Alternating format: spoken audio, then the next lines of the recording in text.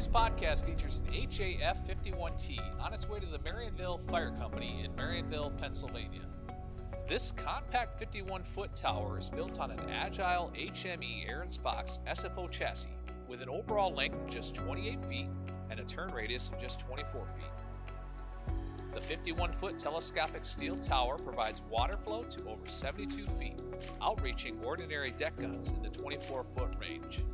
It also fills the gap to a full size 80 foot ladder. In addition to water flow, the HAF 51T also has the capability to take Ahrens-Fox Mad Dog XL CAFs technology to new heights. Sensitive joystick controls provide precision operation. Its 23 foot steel boom with steel pedestal can also incorporate a 3,000 pound recovery winch for added rescue functionality. A 1500 gallon per minute pump, corrosion resistant stainless steel body, custom storage add to the overall utility, functionality, and the value of this well balanced water tower. For more information about water towers, aerials, and platforms, visit firetrucks.com. For HME Ahrens-Fox, I'm Rich Fleeman.